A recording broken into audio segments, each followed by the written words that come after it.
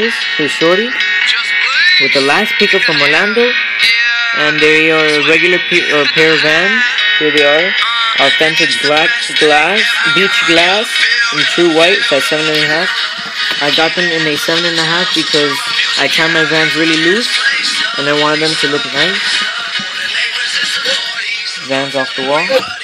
The tissue paper is really soft. I like it and it says Vans all over it.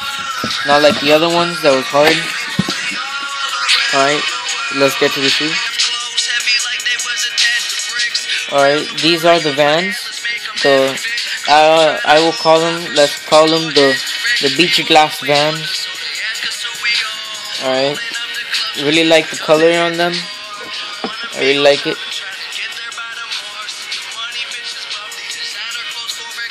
Let's see, Vans.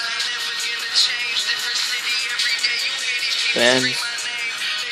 I have worn them already two times.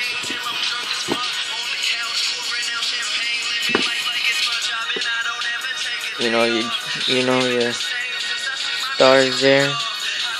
Classic gum bottom. The midsole.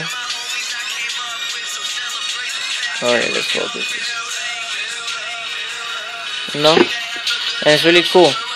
I like them a lot. So that was the last. And there's a reason why I got this colorway.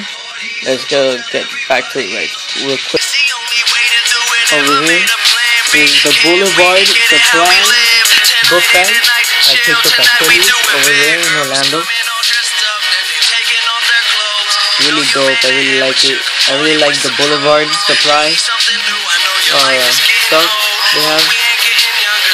Really like it. So see, they match with the van, so I'm gonna rock this on the first day Alright. Uh, I'll keep you, I'll show a better detailed video of, of the book bag. And I also have a brand new pickup I got I got today, but that will be shown next week. So thanks for watching guys. Hope you like the video.